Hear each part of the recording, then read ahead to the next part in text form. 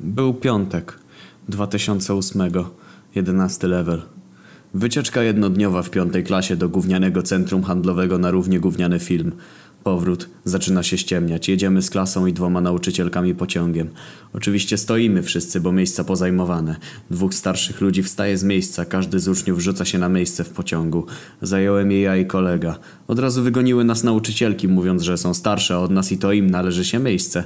Kolega sobie poszedł, ja stałem przy tych nauczycielkach w nadziei, że jeszcze któreś miejsce się zwolni.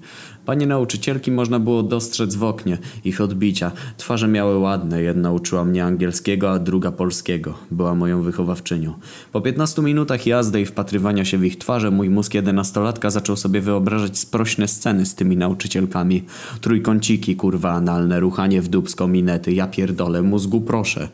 Zacząłem się delikatnie walić po XDDD, ponieważ mój 11, 11-letni penisek podnosił się bardzo gwałtownie, a stałem tuż przy siedzącej pani nauczycielce od angielskiego, która była tą ładniejszą.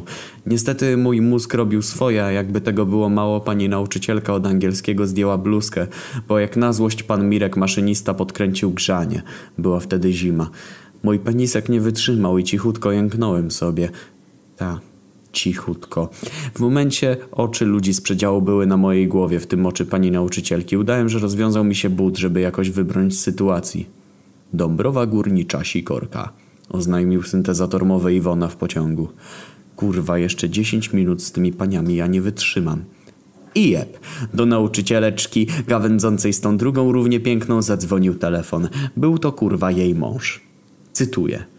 No, kochanie, jak wrócę, to się postaram. Pamiętaj, żeby wziąć prysznic, bo nie lubię, gdy śmierdzi. Kurwa, mój penis zaraz eksploduje. Mój mózg zaczął mi podsuwać tak chore, jak na jedenastolatka, wizje, że zacząłem się żywcem walić z całej siły po łbie, zapominając o tym, że jestem w pierdolonym pociągu. Anonku, wszystko dobrze? Pytają naraz dwie panie nauczycielki. Tak, tak, tak, to przez ten gorąc. Może sobie usiąść? Pyta pani od angielskiego. A wie pani, że chętnie. Odpowiadam naiwnie.